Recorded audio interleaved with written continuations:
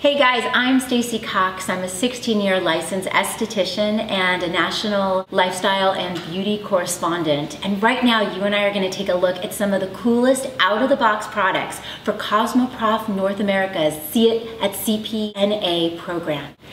Let's say you don't have a huge splashy budget for a tropical vacation this summer. Okay, don't stress, fear not. I've got a really good solution for you.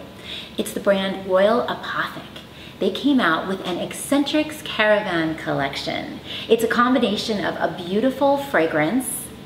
You compare it with this delicious looking argan oil soap right there.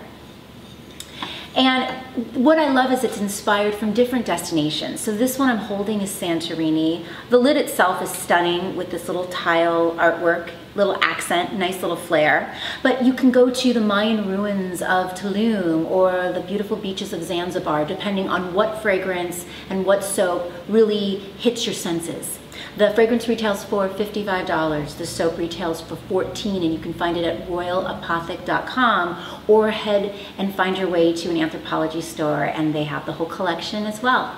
Hope you had fun watching this review, hanging out with me, spending a little quality time, and I hope we get to have some more quality time this July 12th through the 14th in Viva Las Vegas for Cosmoprof's North America's conference. You can also find out more by going to their website, cosmoprofnorthamerica.com. I'm Stacy Cox.